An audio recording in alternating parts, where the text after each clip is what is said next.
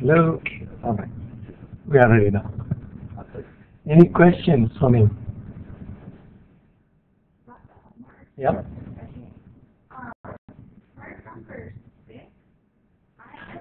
no idea. Okay. To start that, like, do we, um, have to combine those? Right. I, I will show you an example Okay. right now. I anticipated that would be a problem. So, uh, how to basically extend the idea from one differential equation to two differential equations in MATLAB. That's what I need to uh, demonstrate today. Okay. How do you find the assignment? Easy? Um, Perfect, the first half was, you know, the big part, the, the control part was was doable, once you get to MATLAB. MATLAB. Yeah. I actually got some, some people in here actually have never used. So, Okay, so you need to help, me. you need to tell me, and uh, particularly when I'm demonstrating, I will try to demonstrate MATLAB as much as possible in the class, and I'm recording it so that you can go and see it again. And uh, if I throw any word or any concept that doesn't make sense, or you see something there and you don't understand it in a program, please stop me right there, because I can explain it, and hopefully that will uh, make it better, but no substitute for actually doing it. Okay. So if there is a need as we go down, maybe we can have the classes uh, in the lab next door. Rather than demonstrating it, you can actually do it yourself. It may be useful once we get into Simulink. we're putting control blocks together, and uh, so it will be useful for you to do it as soon as I do it, I guess. Okay, so I realize that MATLAB is uh, not uh, everybody's favorite, but it is a very powerful program. Even if you hate it, I hope you will agree that it's a good program to uh, by the end of the course. That um, and once you go into industry, MATLAB is very uh, frequently used in control groups. To join a process control group, uh, it's, it'll be used there. Okay, so any other questions or comments? I didn't manage to put the notes last night by nine o'clock, not by eight o'clock as I. Um, I will try to maintain that, okay? Um, The last lecture, uh, is everything okay for you? Do you want to? Okay. So we looked at, at developing a dynamic model from first principles by applying conservation of energy to a very simple problem. It's a problem with a single ordinary differential equation, and the problem is um, one where you have uh, water coming in and leaving at the certain rate, at the same rate, but the temperature is being changed by adding heat. So we came up with this particular differential equation, uh, which says on the left-hand side the rate of accumulation of energy, which is this term, is equal to rate in minus rate out, then you express that. Okay? And this part is the control part, so which should automatically go to zero. Now the terminology here is T is the temperature in the tank, TR is the desired set point that I would like to achieve. I would like to bring T to TR. Okay? And when that happens, of course, the control action should drop out. When T is equal to TR. Another way of dropping the control action is to turn the controller completely off, which means setting Kc equal to zero. So either one of them will take the last term out, and T equal to TR or Kc equal to zero. Now, when that happens, and when you have a steady state, the left-hand side should also be equal to zero. Okay?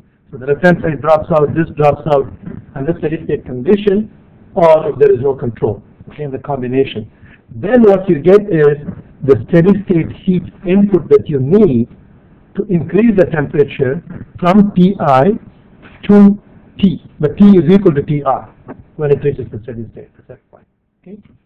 So uh, that so the steady state model is built into the dynamic model, and then we said, okay, we can rearrange it. We didn't really see how to solve it. Uh, we will do it later on using the Laplace transform, okay, which will be much more easier way of solving it. But I've just given you the solution to point out certain features in the solution.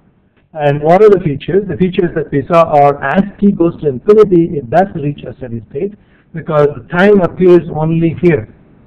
As t goes to infinity, e to the power minus that term drops to zero, and you get the actual temperature in the tank as TR, the set point, plus this term.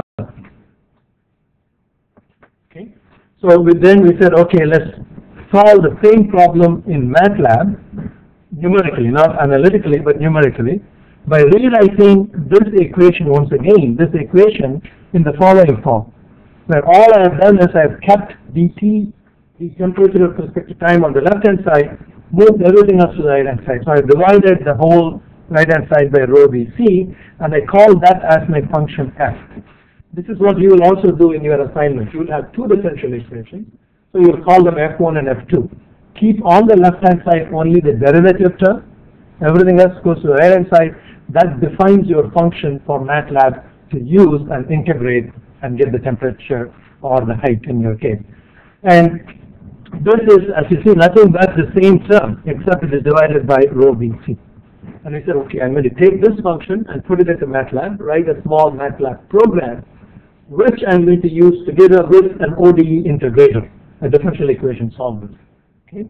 And uh, let me start MATLAB, and uh, I want to go through MATLAB uh, in a bit more detail, particularly because many people are new to it.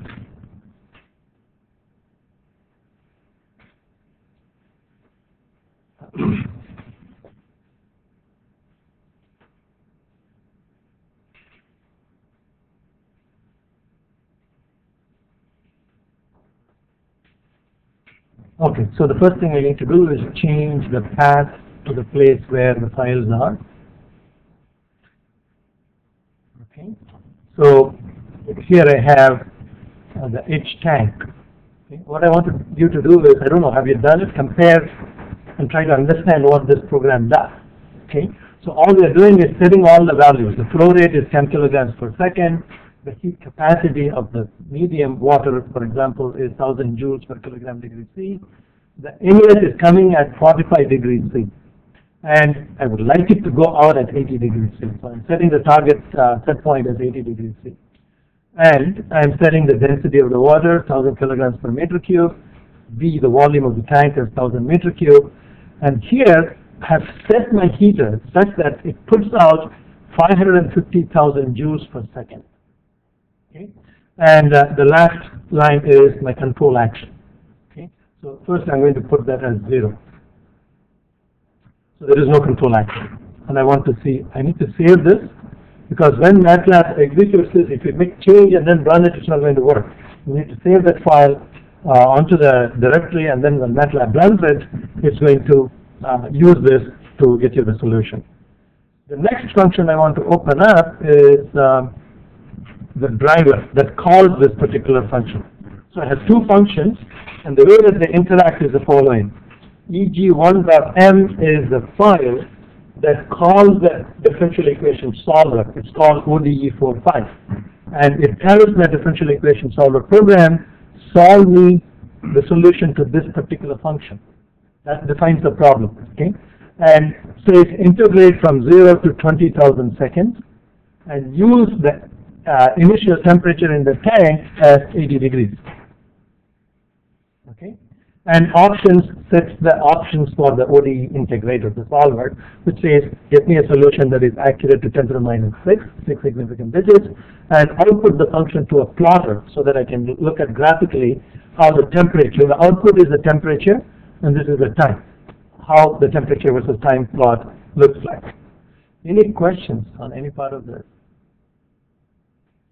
Okay, so I, um, let me run this. I think we've done this in the last class, but here is the graph. The graph is automatically generated simply because I set the ODE output option as ODE plot. If I didn't do that, what I will have in my workspace would be just two variables. Um, let me just set the desktop layout to default so that I can see the workspace also. So in the, in the workspace, you see the two new variables are created. Lowercase t, which is the time step at which the integrator has returned the solution, and t is the temperature. So if I double click on that, I get an array. These are all the temperatures at which, the times at which I have the temperature as a solution. Okay? So this is basically an array editor which allows you to look at the values or edit the values. Again, if I'm going fast, you need to stop me, okay? And uh, this is the actual solution. The temperature at the various times. You can go down and see all the way, okay? And the graph is basically a graphical representation of these two plots. Now the question that you need to ask is, does it make sense? What I'm getting is, the inlet temperature, the, the initial temperature in the tank is 80 degrees.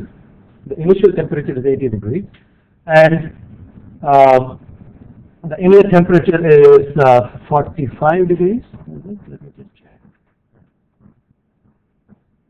TI, the inlet temperature is 45 degrees, and my set point is also 80 degrees. I want the controller to bring back the temperature to 80 degrees.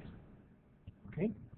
Now, what I'm getting, when there is no control action, in this simulation there is no control action, what I'm getting is it goes to 100 degrees. Okay, so coming in at 45 degrees, initially the tank water is at 80 degrees, and I'm putting a certain amount of heat, 55,000 uh, 550,000 joules per second, and it increases the outlet temperature to 100 degrees. Does this make sense?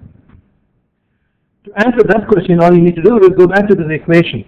Okay, um, under steady state, the left-hand side is equal to zero, and T is, uh, the Kc is zero in this case. There is no control action. So what is the equation? The remaining equation is 0 equals Wc Ti minus T plus Qs. So in this equation, we have set W, we have set C, we have set Ti, we have set Qs. So what should T be? You can solve for it, right? So this is 10 and this is uh, 1000, so that gives you 10,000. Multiplied by Ti is 45 degrees minus something plus 550,000 should be equal to zero. So MATLAB is basically going to solve a particular system under steady state condition. So the final temperature that you see should be consistent with this equation, is it? Okay, you cancel the four zeros there, you are left with 55. So take the temperature to the other side and what you get is T is equal to 45 plus 55 which is 100 degrees. So when there is no control action, if you are putting that much heat, 555,000 joules per second, and the inlet is coming at 45, it is going to go out at 100 degrees. Now we want to invoke the control action and see whether the controller can bring down the temperature from 100 degrees uncontrolled condition to 80 degrees. And this is what I think we were started doing in the last class, and I probably didn't explain it very well. So I'm going to put some number. So let me put a number of uh, what they have used, I guess in the book is W times C, but it doesn't have to be, you can choose any number. Controller, design, you choose this uh, constant Kc. So let me just pick, uh, say 5,000. Okay, I save it, and I'm going to do one thing here, and these are aspects of MATLAB that you can learn as you go on, okay? If you enter the command hold, what it's going to do is, it's going to keep the current plot, and then add the next graph, next line onto the graph. Otherwise, it will wipe out the graph and produce a new one. So onto this graph, I want to keep this so that I can compare the effect of control action. So I just enter the command hold, it says, okay, I'm holding the plot, and if you keep any additional graph, it's going to add to that. Okay? So I go back to this function, the driver, and I run it one more time. But this time, when I run this, it's going to use the same function htank, but the controller parameter is changed. Okay? So what is happening here? The temperature has come down from 100 degrees, but it has not brought it to 80 degrees. This is what we wanted. Okay? And what you will learn is, it is very difficult to get it back to 80 degrees with only proportional action. Why? You can answer that question why by simply looking, at this is an analytical solution help. Okay? So if you look at the analytical solution, you find t goes to infinity, this term drops up. But you have TR plus this number. Only way you can make this number go to zero is if you make Kc equal to infinity. Okay? So we need infinitely large gain to drive it back to the set point. And this is what we call the offset, offset from the set point. Proportional controllers always have that offset. Okay, that's a disadvantage of it. Now, an integral action will drive that to zero because the error is integrated and then driven to zero. Okay? So we will see how to do that uh, uh, later on. But right now, I think you get the idea of uh, how to reduce uh, offset, how to drive it closer. So just keep on increasing this, maybe 50,000. Oops, I need to run this program. Okay, so the gain of 50,000, you're now able to bring it almost to 83 degrees or so. But that is the steady state value. Okay, uh, for each gain, there is a steady state uh, temperature that is reached. Any questions on that? Okay. Uh, let me take a digression from here and show how to handle two equations.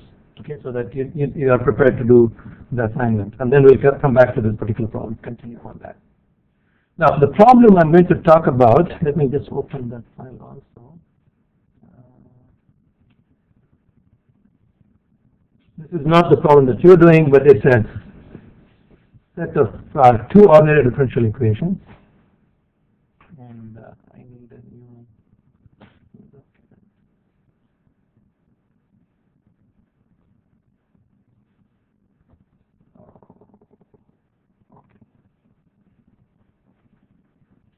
So the equation that you are solving here is something like this, dy1 dt, that's the first differential equation. These ordinary differential equations are always going to be in this form. Dt of uh, something equals a function. So here I'm going to call this function f1, and that function is going to be minus y1 minus y2 y1 plus k epsilon y2.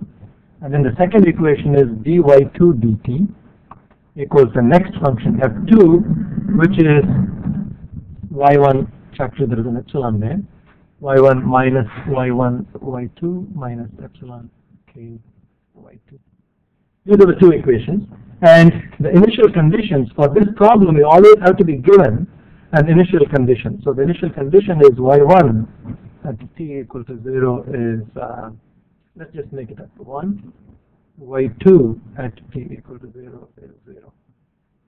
Okay? So there are a set of two ordinary differential equations and two sets of initial conditions, one for each variable. So there are two unknowns, y1 and y2.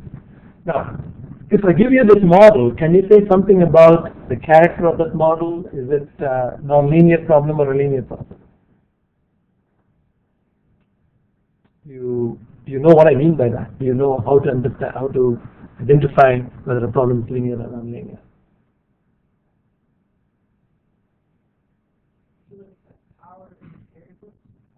Right, you, you need to look for power of the unknown variable. So in here, in this particular model, k is a parameter, a constant, a known value. Epsilon is a parameter. T is a independent variable, time. And y1 and y2 are the dependent variables. So when we are talking about a solution to this problem, we are talking about graph like this, y1 versus t, y2 versus t. Okay, so we're going to generate some graph like that, starting from some initial conditions. That curve, when I plug it into this differential equation, must satisfy the differential equation. Okay, that's what we mean by the solution. So y1 and y2 are the unknowns. That's the first thing that you need to identify in a problem. What am I solving for? What are the unknowns? The next question that you have to ask for is, as you pointed out, are there powers or there exponents? For example, do I have y1 squared, y1 cube, or sine of y1, or e to the power y1, or even y1 times y2. If there are products of the unknowns, like here, okay, that will be called nonlinear. Okay, so this is a nonlinear differential equation, so there is no way you can solve it analytically. You need to use MATLAB or such tool to get the solution for that. How do I use MATLAB? The MATLAB function ODE45, which is what we used in the previous problem, is very powerful. It can handle any number of ordinary differential equations, not just one, even if you have 100 or 1,000, it can handle. What you need to provide to ODE45 is a function that defines your problem. By that I mean, in this case, it has to return two function values f1 and f2. Okay, so the ODE45 must, it will make a call, and I will show you the tracing of how the call goes, how the transfer of control Are you comfortable with any programming language like uh, BASIC or uh, C or Fortran? Do you know what I mean by subroutine? How calls are transferred from one subroutine to another subroutine, okay? So that is exactly what is happening here. I'm just making a call to ODE45. Say, say, ODE45, go and solve this problem. The problem is defined in this function. So ODE45 is going to call this function maybe 100,000 times. Each time it sends two values, which is y1 and y2 in this particular case, and it expects two values back, which are f1 and f2. But f1 and f2 are nothing but the derivatives. So it's basically the slope. So if it knows the slope, MATLAB will then say, of ODE45 will then say, if this is the slope, and if I take a small time step delta t, I can predict what the value will be at the next time step. And that's how ODE45 finds the solution, constructs the solution to a specified accuracy. So to meet that accuracy, it will choose the delta t, the time step it takes. The smaller the time step, the more accurate your result is. Okay? So what is happening here is, if you compare these two slides, here I have the model equation. And I'm writing that into a function. So the structure of a function is very much a subroutine if you want to think of it like that. So the first keyword must be function, and then the output from the function, the name of a function on the right hand side of the equal sign, and a set of inputs. So the function will accept a set of inputs, follow certain rules to calculate the output and send the output back. So somewhere in your program, what you find here should match on the left hand side because that's what is assigned. So y dot equals something. Okay? So I'm sorry, I erased the other one. Uh, so what I'm doing in the first line of this function, after defining what the function is, I'm saying k is equal to 3 and epsilon equals 1 over 98. These are two numbers in the problem that is given to you. Okay? And then y dot, you can call it anything you want. You can call it f1, you can call it y dot, but it must be an array. What MATLAB expects is to pass an array of input values in y and get an array output which is the same length as the input. Okay?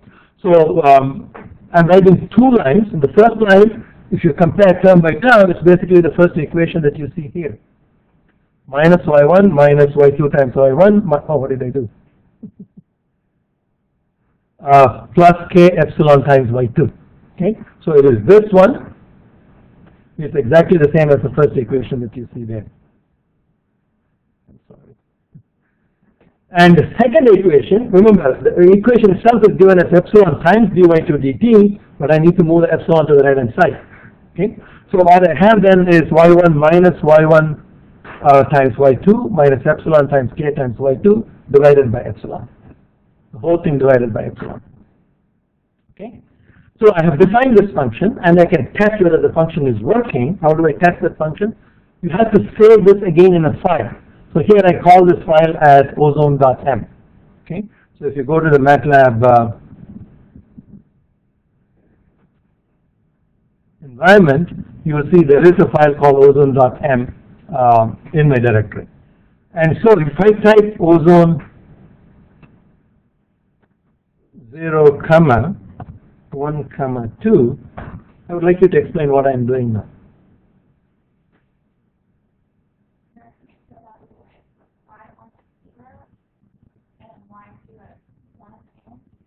No, no. T is 0. The first variable is T, T is 0, and the array is of length 2. So y1 will be 1 and y2 will be 2. Okay? And taking these input values, MATLAB looks for what ozone is. So in the current directory itself, it finds a function. So it just takes these values, passes it to ozone, and expects ozone to return some values.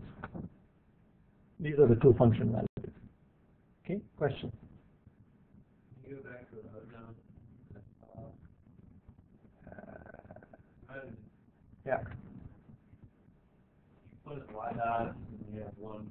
Right, right. That, that's what I want you to do. Please ask me if you see something there that you don't understand. You need to ask me why I have that. Okay.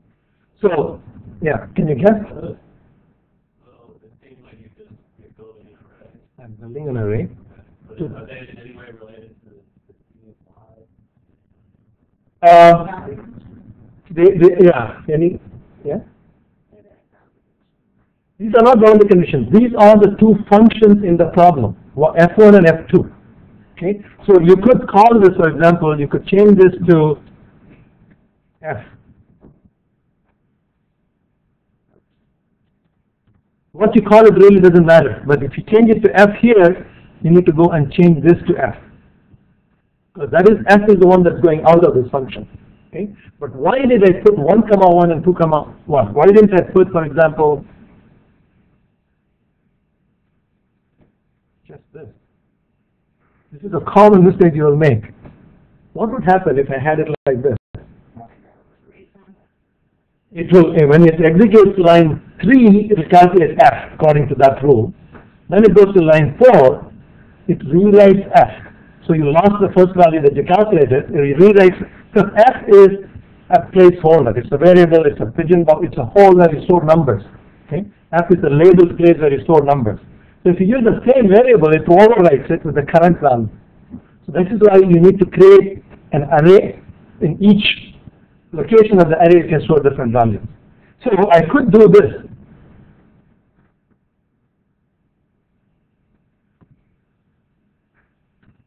Now I have stored two values in F1 and F2, okay?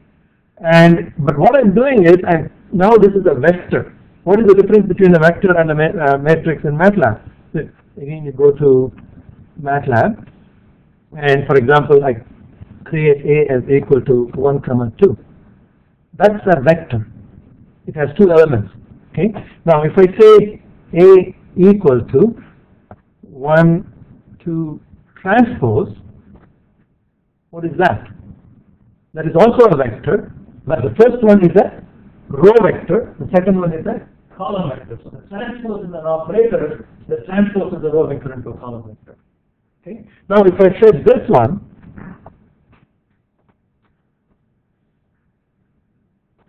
What is that? That's a matrix array.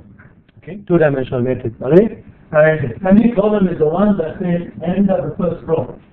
And then what comes after that is going to be second row. Yeah.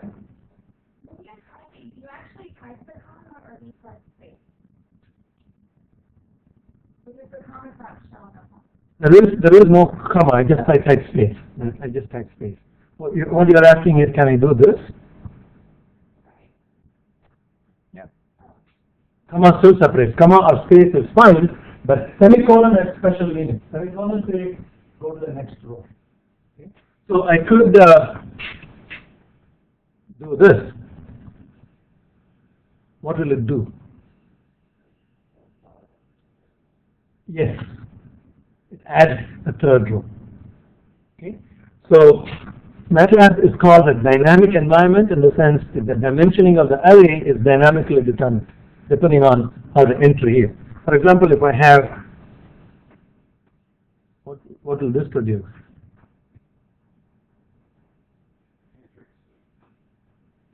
Five rows, five columns, number zero and everything goes to the last, the bottom right. That's what you need to do. Be bold to guess what it is. Even if you are wrong, when you hit the return, you will understand how correct you were or how wrong you were. Okay? Don't be afraid to try this, and that's the best way to learn. Okay? So it preserved all the values that you had defined before, and then here you are putting in a fifth, fifth entry. So you're creating a side by five, dynamically increasing. Five by five, and that entry you want six. But you have not set anything else in all the other locations, so the condition is to zero. Okay? So you can change dynamically what is happening. Now let's go back to that problem and you explain to me what I'm trying to do in the function. What did I have? I had one comma one. I had two comma one. What am I doing? I'm creating a a column vector. I'm creating a column vector. Now you can ask why. The answer to that is that's what ODE 45 expects. If you don't do that, ODE 45 will complain. If you return a row vector, ODE 45 won't know what to do with it. So it expects a column vector. Yeah. So if you just put the, the, the one two the, other so so that, that.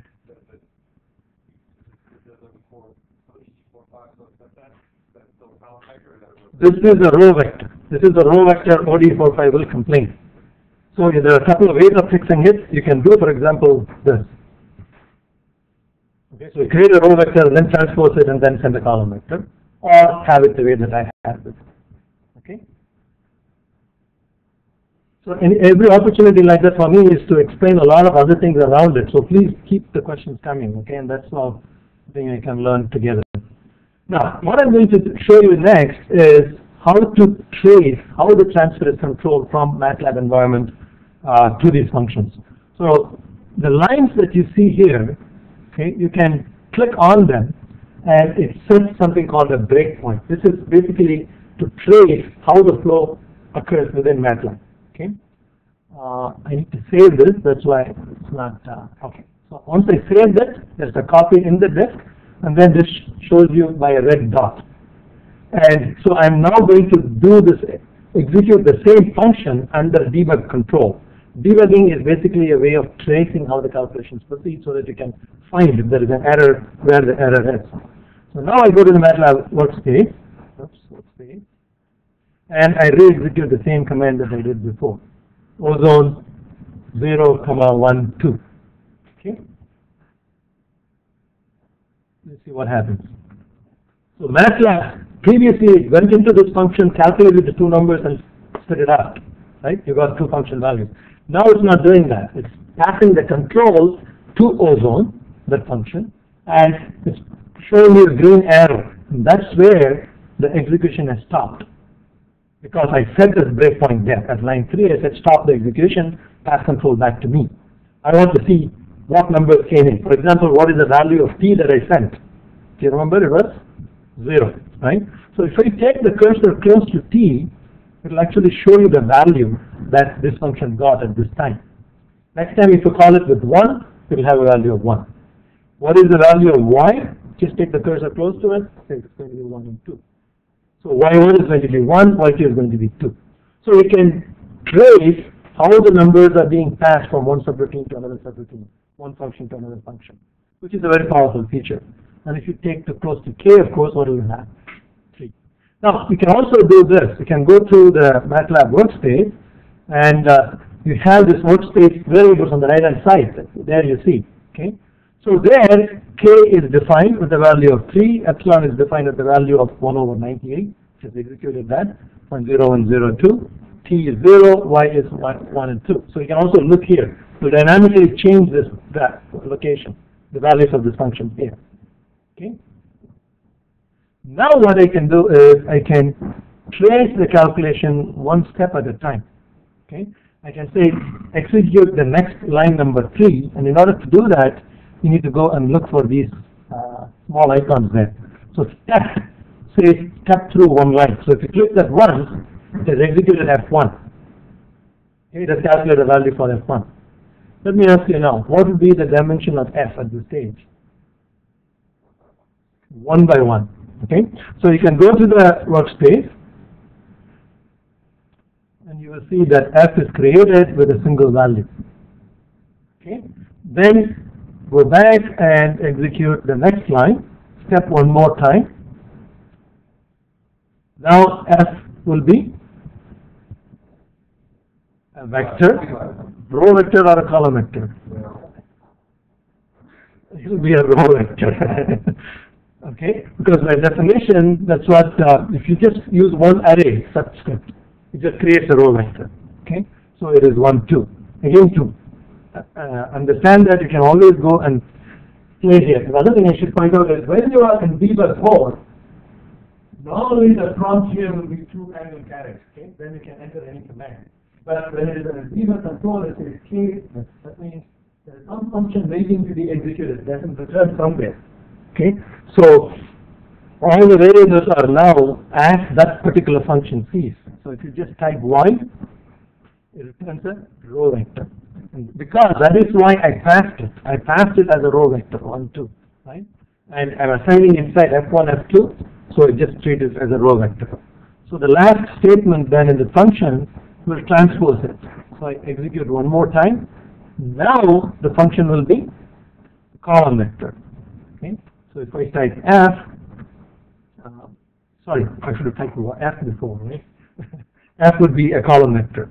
Okay, as you can see. And the last step would be to get out of the function, because right now it says I'm at the end of the function, step one more. And it says I'm ready to go out of this function, where does it go? Control is passed back to the workspace, because I called this from the workspace.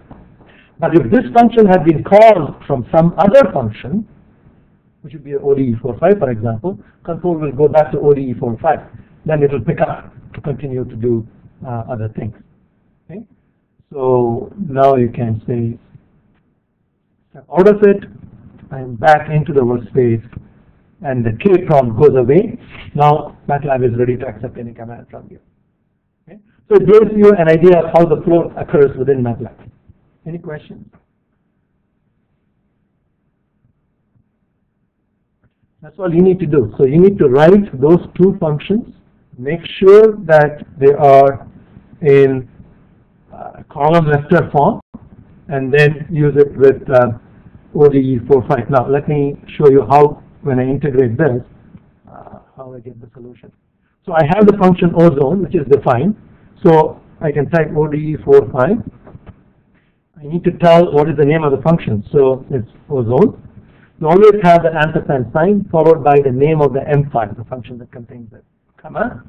The next argument to ODE 45 should be the span, time span, over what range you want to integrate. So I say I want to integrate from 0 to 5 in time. The next parameter should be initial condition, and here, the number of initial conditions should match with the number of functions that you have, the dimension of the problem. If you have two ordinary differential equations, then you'll have to have two of them. So let me just say 0 and 1. That's a row vector. That is a row vector.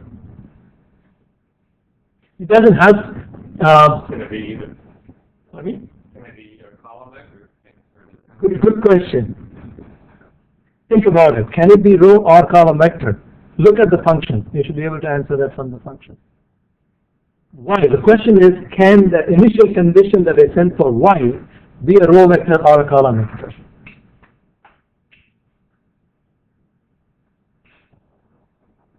Anybody willing to venture a guess? It can be a row or a column, I think. We'll try it out. Why? Because all I'm saying, I- when I'm addressing this, I'm simply saying y1. I- I'm not using two indices, I'm just saying y1. Whether it is a row vector or column vector, y1 will be the first element, y2 will be the second element. In the row or the column, okay? When I send it out, it is ODE 45 that insists that it has to be a column vector. So I have to prepare the output to be a column vector, but the input can be either a row vector or a column vector. That's what I think logically. Okay, let's let's try this out. So I'm just going to leave it as a row vector, and uh, let me do one thing. Uh, let me remove. If I don't remove this, what do you think will happen? If I don't remove this debugging, and then I just enter. Let's try that. So I call the ODE45, okay, in the command line. Sorry, I need to keep switching back and forth. In the command line, I call ODE45, pointing to the the function, the time span, and the initial condition. ODE45 calls ozone. So the control is now inside ozone, the function ozone, and it is stopping there because I set a breakpoint there. Okay? Now, I can step through it if you like, but what you'll find is, now the control is going to go back, and it goes back to ODE45. This is the actual code for ODE45 want to ever look at it, you can look at the code already ODE4. Okay? So ODE4 is calling that function many, many times as it develops the solution. Okay? So you don't want to stop this every time, so let's just say continue. It comes back. Now ODE4 file fit that thousand lines there. Finished all the statements, comes back with the next time value. So what do you think t will be? It will be interesting to see. t is 0.0013. So ODE45 has taken a small tiny step from zero to point zero zero one three. This is now says what are the function derivatives at this time so that I can project what the solution is going to be at the next time. You get the idea now, right? So let's get rid of this and then continue. So I'll continue. and uh, what do I get? This is what I executed, right? ODE 45 ozone, but I didn't store the results anywhere. So that was a mistake. Okay, so what I should have done is, I should have said, store the results in ty equals. So whatever ODE 45 returns should be stored in that particular value. Now I have the solution. I have two variables output from ODE 45. One is time, the other one is y1 and y2. So y1 and y2 is going to be actually a matrix. Okay, this is y. So the first column tells you y1, the second column tells you y2. But what are the particular values that along this row? That will correspond to a particular time. What time is it? You need to look at the other vectors t. Okay? For example, if you want to look at, you can do this, t at uh, 25. What is the 25th entry in the t vector? That is time point 8292. At that time, what is the solution? so look at the y vector. How would you do that? I want 25th row all the columns. So this is how you address that. So you say, why is a large vector matrix, right? So I want the twenty-fifth row, every element in that particular row. Okay? And that's how I would pull out those two numbers. So at any time, I can find out the corresponding solution. Of course, the easiest way to do is plot t comma y. What is that going to do? It's going to plot the graph for me. Oops, I made a mistake. I want to see what mistake. Can you guess what I made? This is the graph it generates. What will I left it on hold. So the previous graphs are there, and this graph is added, and this graph goes from zero to one. Right? So all the points are in on that scale. Okay? So I need to close this window and uh, then replot it. So I can just hit the up arrow. This is where the editing is useful. And replot it, and that's where you get that solution. There are actually two curves there. I don't know whether you can see them. One is here. the one is there. One is y1 and one is y2. I think I set y1 as equal to zero, right? That's why if we change this to one and zero. And the other thing that you can do, this is also very important when you're submitting your assignments, I don't want you to print out 200 lines with just the values, okay? So if you put a semicolon at the end of a line, it suppresses the printing. It doesn't print those, but it calculates the value, T and Y are available in your workspace, but it's not just echoing, it's not printing on the screen. Now if I plot that, I get uh, the two curves, uh, all in zero. Is there an easy way to identify what you did? I mean, without looking at the values. Uh, Good question. I, I don't know the answer off the top of my head. You can control which one is which by saying plot t, uh, the first variable alone, t against the first variable alone. So this is going to be, comma, one. So what does this do? It picks the first column, all the variables in the first column, and then you can assign a particular symbol. So the third argument is the symbol. Okay? And then you can say plot again t comma y comma 2, comma plus, something like this. Okay? So what it does is generates two graphs. First one is the first column with symbol 4, second one again T again Y2 with the symbol plus. Okay? and the plot command is very powerful. There are many things that you can do. uh, so use the help to learn on your own. There is here. Uh, 0 and plus. Okay. you can also do visually editing, uh, edit these axes, put labels, legends, everything. So if you go to tools and properties somewhere, uh, it'll allow you to edit everything on the graph and then save it as an EPS file or print it out onto the printer. Uh, I'm going to let you kind of play with those things on your own, okay? Depending on your interest and the time you have to kill, because this is a time sink. All right, any questions? Did you have a question? Okay. Anybody else? Okay, the whole class turned out to be just uh, a MATLAB demonstration. If no questions, then let's get back to uh, the lecture.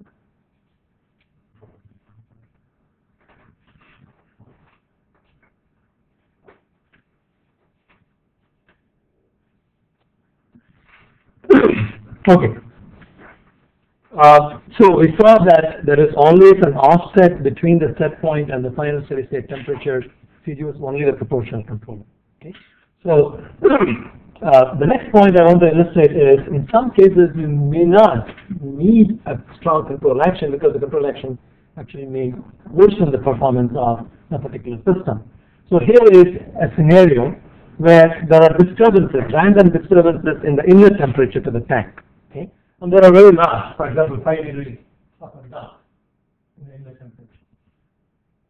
But if the system has a large capacitance, okay, then you may not need a control action because the output will be automatically smoothed out. Any fluctuation in the inlet is automatically smoothed out by the large capacitance in the output variable. So the output variable may actually show a much smaller variance. So here I'm showing the output temperature with TR as being set point and the fluctuation around that is small. Now, when I make the statement because of large capacitance, it damps out. Do you understand what I mean by that, right? If you don't, you can just take a look at the equation, and the equation will tell you. What do I mean by the large capacitance? It's simply that rho v times c in the denominator. Either you have a large volume, or you have a large heat capacity, or the density is large. Whatever the combination is, the rho v c, the product is large, then even though you may have a very large variation in Ti, the entire f function is divided by a large number. So f is going to be small. That means dt, the temperature changes with time, is going to be small. So large capacitance terms spontaneously damps it out simply because you have a division by a large number. In those cases, you may not actually want uh, very strong uh, control action. Uh, the next one we said there is always an offset, and to get rid of the offset, we saw that we could add an integral action. Okay, so Q of t is a steady state plus a proportional action given by this plus an integral action. Okay, what does the integral action do? If, for example, once you get this is your uh, set point tr, and we saw that in a particular case the t goes like this. So there is an offset here. T never goes back to TR. That means there is always an error. But this term says I'll take the difference and integrate it, accumulate the error, and then develop a proportional action that is proportional to the accumulated error. Okay? And that control action will be stronger. To solve this, what are the problems? If I take this Q of T and put it into this equation, see this is what I had previously. So now I need to add some kr times integral of the tr minus t. Oops, sorry. tr minus t. Okay, so it becomes a differential integral, a differential equation with an integral in that. Okay, so that's a pretty messy system to deal with, but we will see that Laplace transform will allow us to solve this very elegantly. So we'll defer the solution of the integral action until we see Laplace transform. We'll review Laplace transform very quickly. Okay? But when you do that, here you see the result of an integral action. This is PR, depending on the value of the integral constant. Again, that's another constant that you need to choose. Depending on the value of it, we can get, for example, uh, KR1. that's uh, the largest value, for example, you may get an action like this. The error is driven to zero. It oscillates around it, but it's driven to zero. Okay? And if KR3 is like this, the response may be like this. It depends on the system. Okay? But integral action, the point that I wanted to get at will get rid of the offset and will achieve the uh, response that you need. the other complications one must look at is the measuring instrument itself might have a delay. So we need to develop a dynamic model for the measuring instrument, which could be a thermocouple, for example. And the temperature may not be uniform in the tank, so the sensor location is a problem too. The control performance ultimately will depend on these other factors also, not only on the dynamics of the process. Okay? And an aggressive control action, meaning very large value of Kc, may make the system unstable. So the stability is another concept that we need to see in uh, greater detail later. Okay? So this is, but qualitatively, this would be an unstable system, where the temperature keeps on increasing with time under the action of a control system. So the control system responds very quickly and tries to use the predicted value from the model, and it doesn't sync, so that it just keeps on blowing up. and there's a mathematical way of defining what stability is and looking at controller tuning to have a stable system. This is a block diagram representation of a complete control system for this particular process. The process is the stir tank, and you should be able to develop this ability to represent a process diagram by superposing on it the control diagram. Okay, so our entire analysis is centered around the stir tank with a certain input Ti. Okay, and the output is measured by a sensor, thermocouple. So it takes temperature as a sensor, but sends out the voltage as the output from the uh, thermocouple. And then you have a set point. So the set point again is a temperature, but you have a calibration device that says if I want the set point to be 80 degrees, I should be getting a certain voltage VR. So the comparator compares the two signals. So comparator should have the same units because it's going to add or subtract. And then it sends the error to the controller, which is the brain, in this case, Kc times Tr minus T. And the controller then sends a signal to the heater, saying increase the heat or decrease the heat, okay, to try to bring it back to the set point. So this problem would be called a regulatory problem. There are two types of problems. One is a disturbance rejection problem, which says if the system is operating under steady state, any disturbance should be rejected, so we bring it back to the steady state. The other one is set point tracking. You want to change the condition, set point of the plant from one condition to another condition. We'll see both problems, how to handle both of them. I guess I'm running out of time. Uh, feel free to come and see me if you have any difficulty with the assignment, okay? Don't spend too much time debugging your program. Spending maybe the first half an hour, 45 minutes is helpful because you're learning a lot. After that, you don't know where the problem is, talk to your neighbor, talk to friends, if not, come to me. Uh, so that there is a diminishing return in terms of uh, trying to debug a program. All right, see you uh, next class.